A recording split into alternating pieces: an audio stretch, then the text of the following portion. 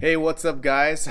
Today's video is going to be about disappointment and why this video might be a disappointment to you or why you might be a disappointment to yourself and what we can do about it. So let's let's talk about it. Oh, and today's video is brought to you by procrastination. Why make a video earlier in the week of high quality when you can make one last minute without any editing? okay. So, um I want to talk about disappointment because I am really, really good at having disappointment in myself.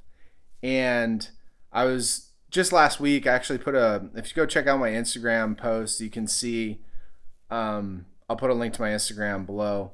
But if you check out my Instagram post, you can see how I was talking about how we should focus on our inputs um, and that our outputs will basically follow and our outputs will match our ambition. And I like to think about disappointment as, or the definition of disappointment as when reality doesn't match our expectations.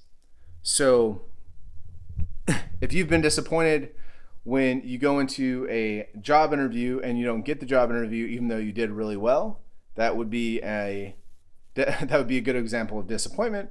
Um, not getting the raise that you expect, for the year would be another example of disappointment. And there's tons and tons of these, right? We've all been disappointed in our lives. So, how can we change disappointments and turn them into an opportunity to grow versus an opportunity to stagnate? Well, we have to change or adapt what we're doing so that we get different results in the future. For example, I was disappointed with my channel growth with my YouTube videos and I know that in the past I haven't made any at all. And I know that if I edit them and do them early on, that they'll be of higher quality and that more people watch them. I just had a video with 500 views and I know of the tricks and tweaks to get to that level. Now, after that video, I did one in Dallas and I did it last minute and it's got three or four seconds of, of space in at the front. You can see it. I'll put it in the card above at some point, but you can just go look at my videos and see it has like three, four seconds of space, and then the audio is misaligned. And um, even this video is a disappointment uh, to the quality of videos that I want to be producing. But that being said, um, I'm still making it. And so I think that we, while we have disappointments and while we can't be perfect, and while we're trying to tweak our inputs, um, we still need to let ourselves be human as well. So I want to know what are some disappointments that you guys have experienced in your careers lately, and if you put those in the comments below, I'd love to respond to them and try to understand a little bit better about what those disappointments are. I'll put one uh, below myself as well.